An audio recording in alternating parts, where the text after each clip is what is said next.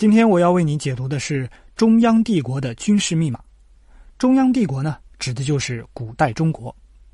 古代中国的演化呢，有两样东西很关键，一个是税收，一个是军事。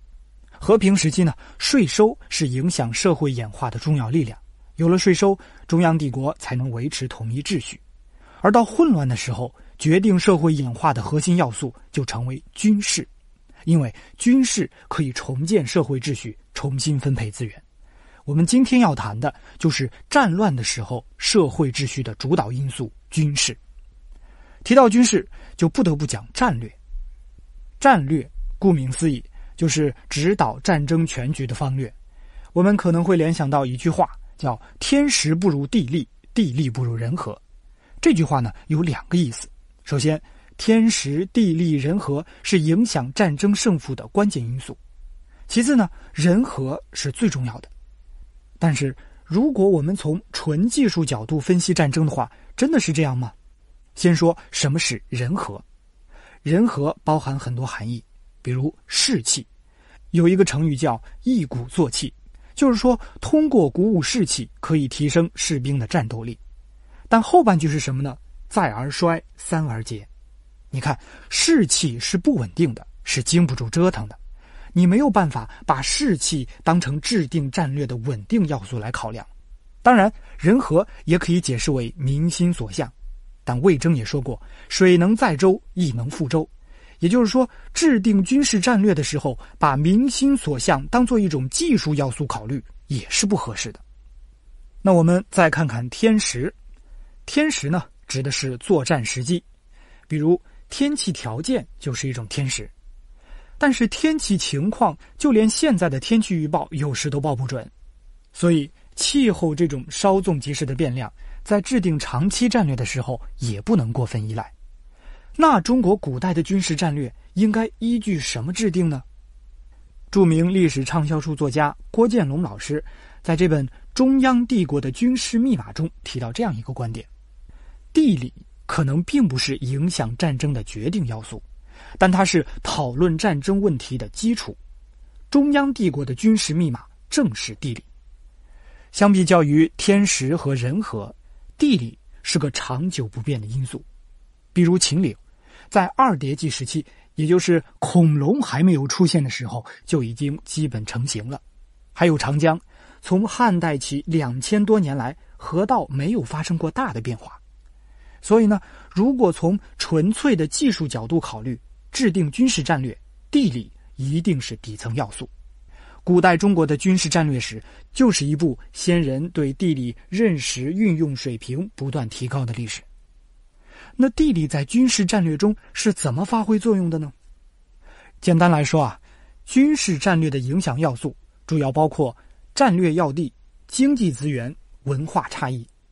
这三者呢？都是依托地理体现的，在这三种要素的作用下，古代中国的军事活动会呈现两个维度的扩张：经济牵引下的东西向扩张，还有文明冲突中的南北向扩张。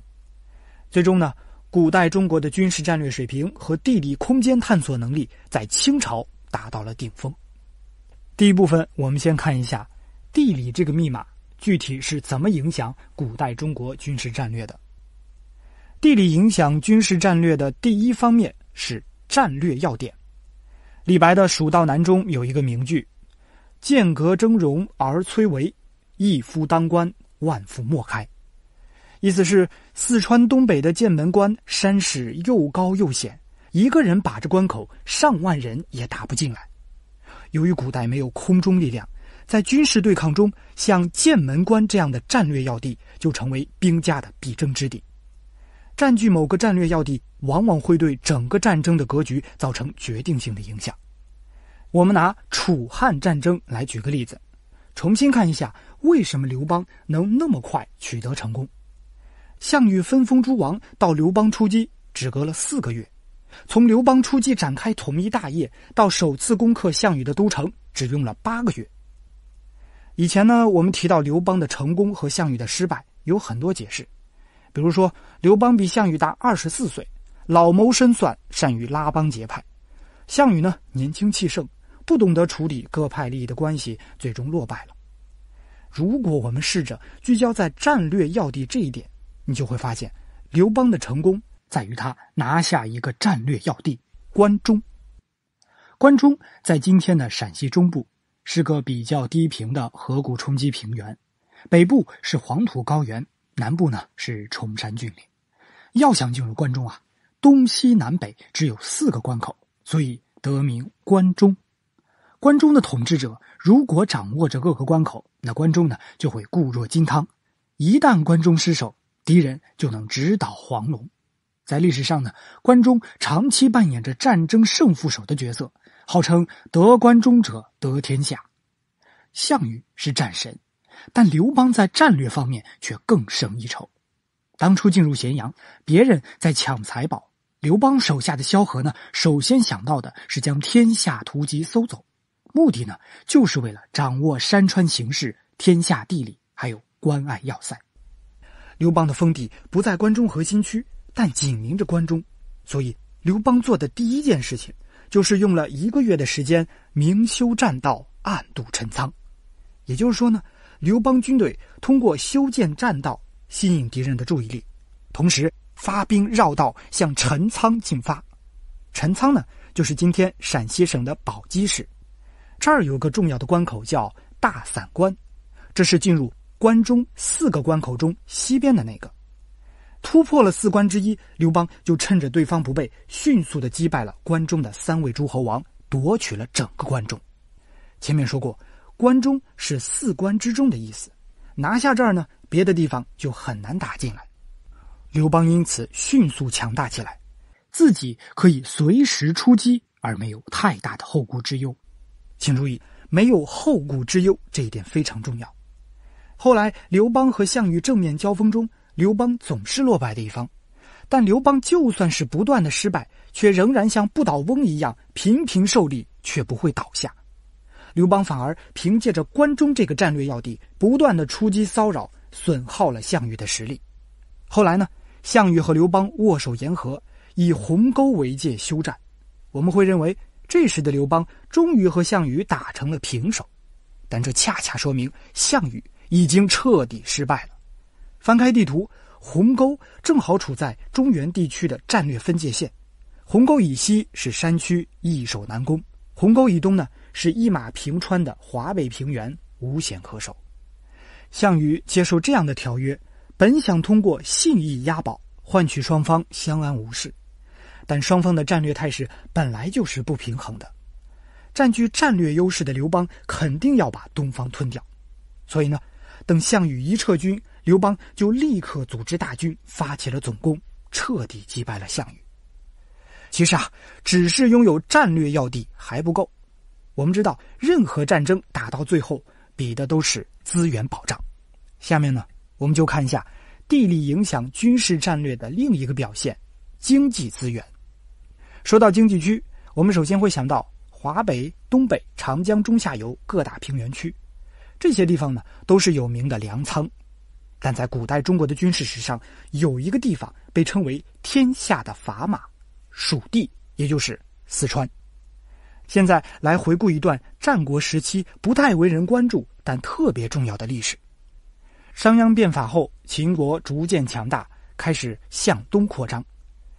但在商鞅变法后的下一任国君秦惠文王时期，秦国东扩的脚步突然停下来了。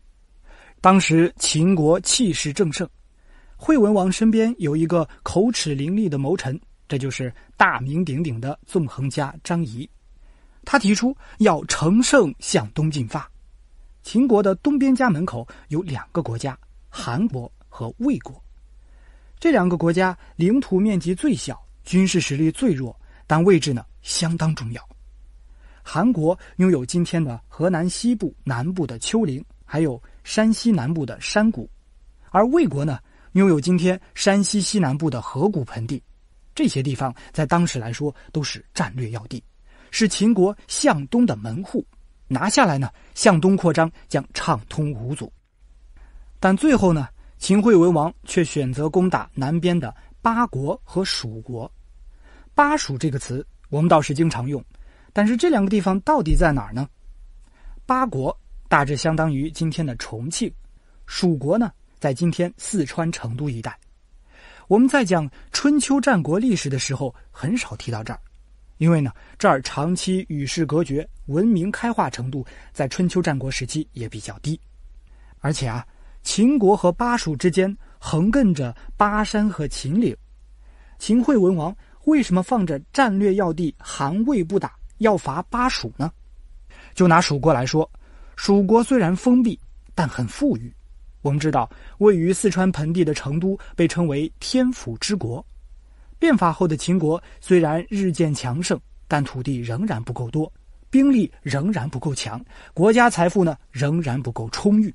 进攻六国并没有十足的胜算，恰好这个时候蜀国正发生内乱，拿下蜀国就可以利用蜀地的财富进行备战。我们在以前经常说，秦国经过变法可以与山东六国抗衡，但其实呢，占据四川获得更多的经济资源也是重要原因。到这儿，严格说，我们谈到的军事战略还只是中原内部。中央帝国显然不只有农耕为主的中原区，所以除了战略要地和经济资源，地域间的文化差异同样也是影响中国古代军事战略的要素。我们知道蒙古人很能打，少量的蒙古人曾经征服欧亚世界，但是军事行动，特别是远征行动，是一种资源损耗极大、不确定性很高的事情。所以呢，中原军队作战的时候，往往会采用一路主攻，其余佯装行动的做法，集中力量对付敌军最薄弱的环节。但蒙古人在作战的时候很奇怪，他们总是各路大军齐头并进，显得好像没什么章法，也不太顾虑后勤的事情。什么原因呢？这其实和蒙古人的日常生活、社会组织有关。蒙古人是游牧民族。以打猎为生，他们在草原上围捕大型猎物的时候呢，就需要多方的配合。蒙古人这时会分成几个小队，从四面八方包围猎物。这时呢，任何一方都有机会，任何一方都是主力，所以他们之间的竞争成分甚至超过了配合的成分。这是农耕区的中原不会出现的。那换作在打仗的时候呢，也是这样。蒙古人凭借自身强大的机动性，几路大军并进，每一路呢都配备实力雄厚的大将，他们之间彼此竞争，一旦谁先获得突破，谁就升级为主攻方，其他路的军队会以这支队伍为核心冲向敌人。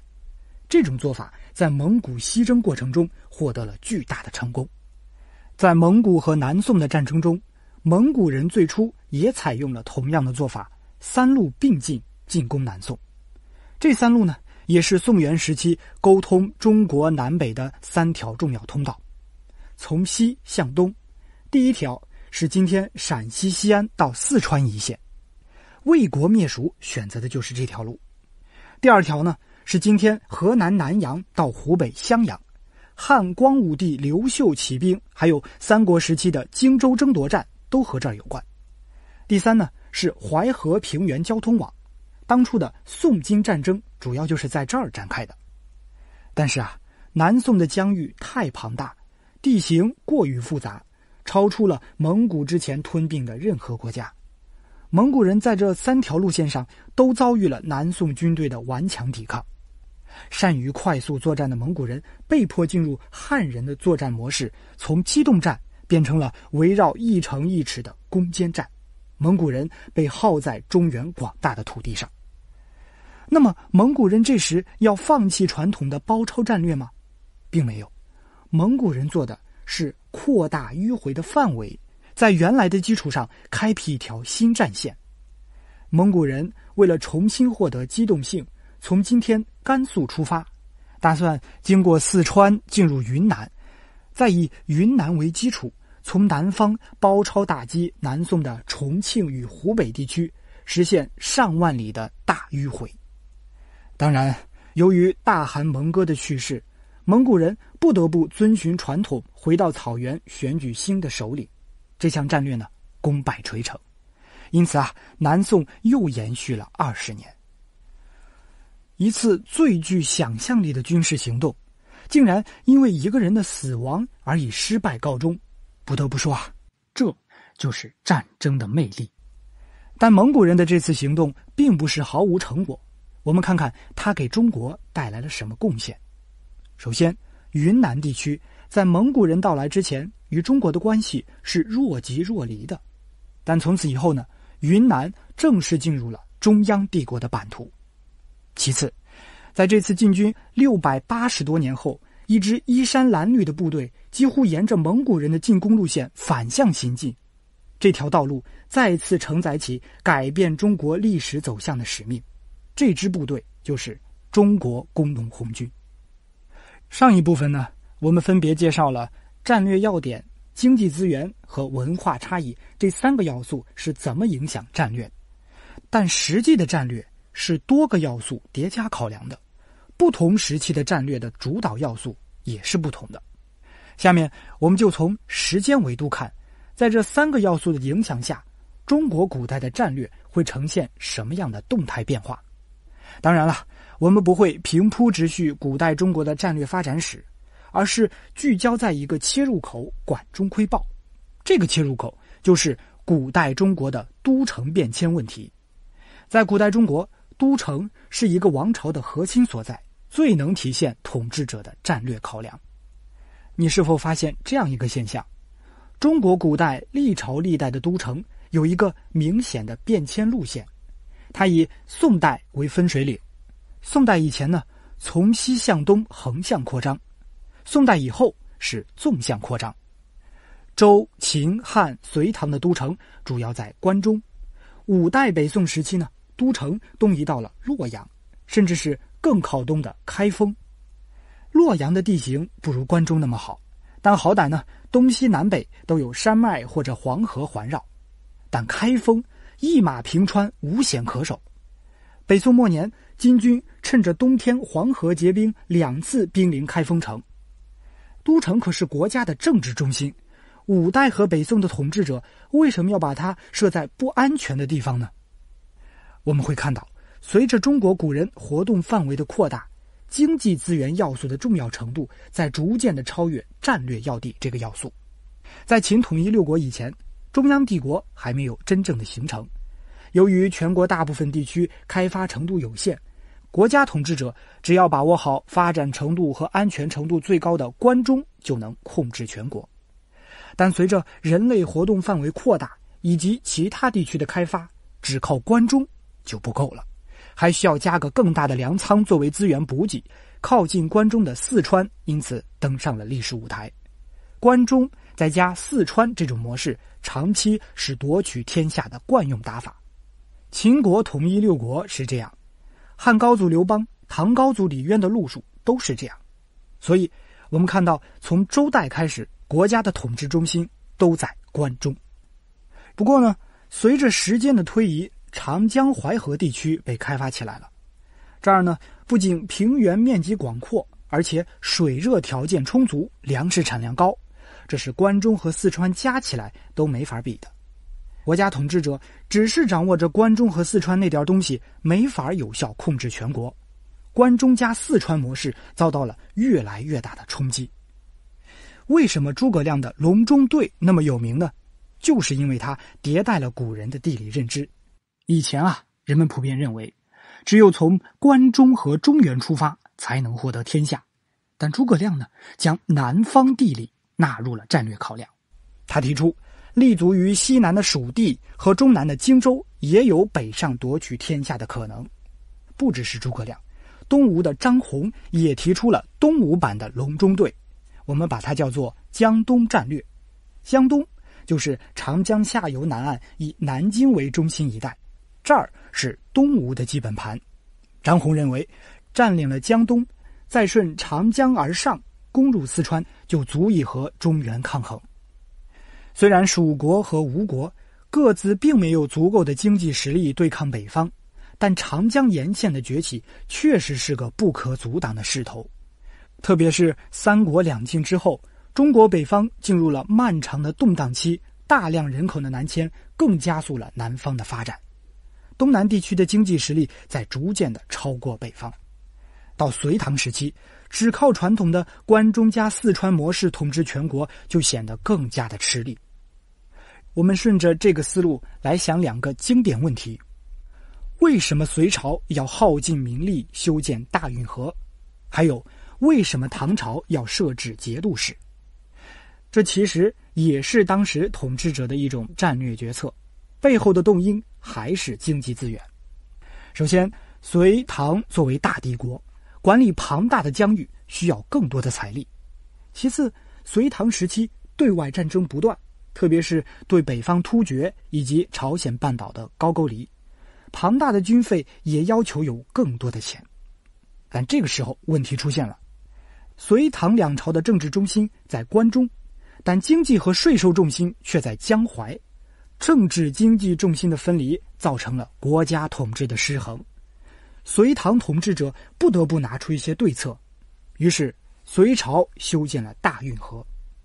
大运河的中心是洛阳，这儿一方面距离关中比较近，另一方面呢交通便利，江淮地区的物资能够比较快的送达，这导致洛阳逐渐取代长安，关中地区进一步衰落。